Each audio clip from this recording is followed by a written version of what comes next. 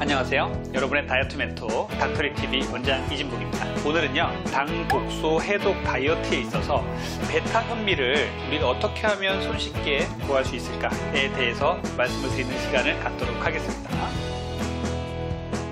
지난 시간에 우리가 당 독소가 얼마나 우리 몸에 해로운지 그리고 다이어트에 문제가 되는지에 대해서 말씀을 드렸어요. 이런 당 독소를 해독하기 위해서 찬밥을 이용한 저항성 전분이란 부분을 제가 말씀을 드렸죠. 이런 찬밥을 이용한 저항성 전분을 만들면 이 저항성 전분은 소장에서 흡수가 되지 않고 대장까지 내려감으로써 해서 대장의 환경을 좋게 만들어주고 우리가 혈당을 급격하게 올리지 않으면서 인슐린 저항성을 높여서 우리 몸의 건강과 다이어트에 큰 도움을 주는 것으로 알려져 있습니다. 그런데 이 저항성 전분을 만들기 위해서요. 밥을 지어서 24시간 동안 냉장실에 넣었다가 또 냉동실에 또 보관해 놨다가 다시 데워서 먹는다. 아, 이것을 하면 좋지만 번거로운 게 사실입니다. 그래서 오늘은 이러한 베타 현미를 이용한 저항성 전분을 우리가 주위에서 좀 손쉽게 구할 수 있는 방법은 없을까라는 부분에 대해서 여러분들과 함께 말씀을 나눠볼게요. 오늘도 좋은 내용으로 준비를 했으니까요. 끝까지 시청 부탁드리고요. 구독과 추천, 알림 설정 부탁드릴게요. 그리고 궁금하신 점은 댓글로 달아주시면 성심성의껏 댓글 올리겠습니다.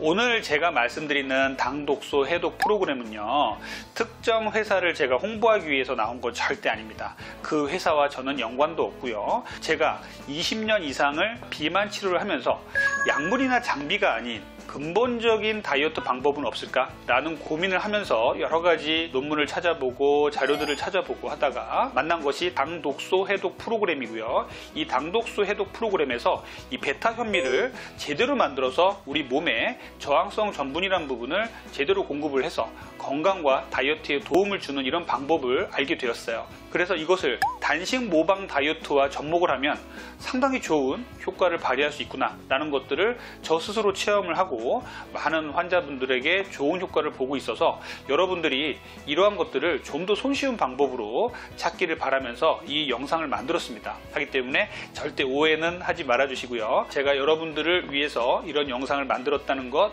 꼭 이해 부탁드리고요. 저와 이 회사와 또 이 제품과는 전혀 연관이 없다는 것 말씀드릴게요. 제가 수차례 말씀드렸듯이 탄수화물은 인간에게 가장 중요한 영양소입니다. 탄수화물을 인간이 먹지 않았다면 이렇게 만물의 영장으로서 인간이 활동하지 못했을 것이에요. 이렇게 중요한 탄수화물이 왜 현대 사회에선 이렇게 문제가 되었을까요? 그것은 바로 정제된 탄수화물을 너무 과도하게 먹는다는 것입니다. 그래서 탄수화물 중독으로 나타나고 이런 탄수화물들이 여러 가지 질병의 원인이 되는 게 현대의 질병의 대표적인 문제예요. 우리 현대인들은 탄수화물을 반드시 먹어야 합니다. 하지만 너무나 나쁜 정제 탄수화물이 많기 때문에 여기서 고민을 하게 되는 것이죠. 그래서 탄수화물은 먹어야 되는데 좋은 탄수화물을 어떻게 하면 먹을 수 있을까? 이런 고민에 빠지게 되는 것이고 이러한 좋은 탄수화물을 제가 찾다 보니까 이 베타 현미라는 부분과 만나게 된 것이에요. 이렇게 정제 탄수화물이 넘쳐나는 이 현대 사회에서 베타 현미라는 대안을 갖고서 오늘 말씀을 드리겠습니다.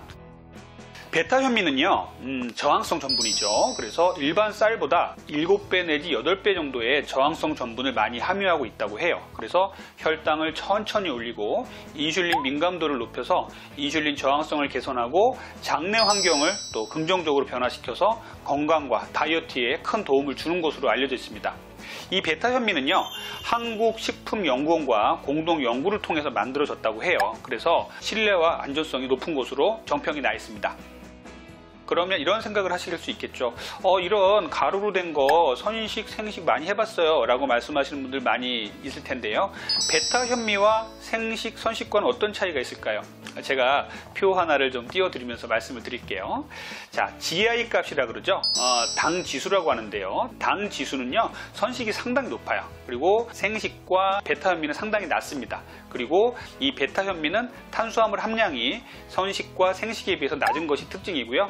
당 독소가 전혀 없습니다. 그리고 제일 중요한 것 단백질 함량이 60%로 가장 높습니다. 당 독소 해독 프로그램 다이어트에서 이 단백질이라는 부분 상당히 중요합니다.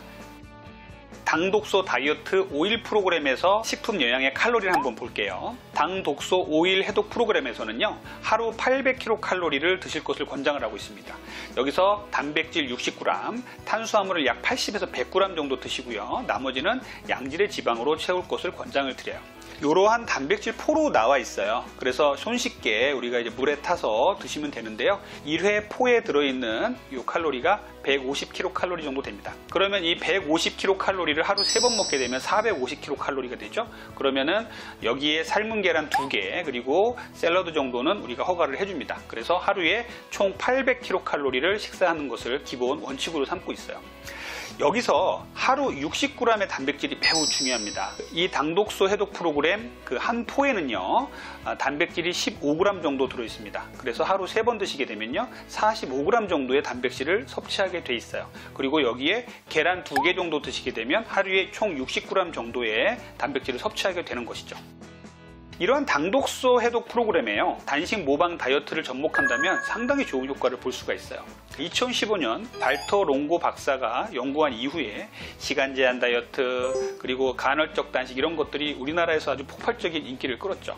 이 발터 롱고 박사의 시간 제한 다이어트와는 약간 차이가 좀 있는데요. 아, 발터 롱고 박사의 단식 모방 다이어트에서 단백질 양이요 10% 정도로 제한을 하고 있습니다. 하지만 당독소 해독 다이어트의 단백질의 함량은요 30% 정도 로 더 높아요. 이것은 왜 그러냐면요. 서양인 같은 경우는 우리가 근육이 크고 하기 때문에 단백질 함량을 아, 적극적으로 줄여도 큰 문제가 없지만 우리나라 사람들 같은 경우는 단백질 함량을 10%로 줄이게 되면요. 근 손실이 나타날 수가 있습니다. 그래서 당 독소 해도 임상 연구를 계속 해봤더니요. 우리나라 사람들은 단백질을 30%까지 올려도 체중 감소 등 여러 가지 단식 모방 다이어트의 좋은 효과를 그대로 가져가면서 다이어트를 성공적으로 할 수 있는 것으로 연구가 되었어요. 그래서 이것을 한 한국형 단식 모방 다이어트라고 명명을 하게 되었습니다. 자 그러면 이 베타 현미를 구입하는 방법은 어떻게 될까요? 베타 현미는 구입하는 방법이 인터넷이나 약국, 병원에서 구입할 수 있는데 이 제품들이 조금씩 다릅니다.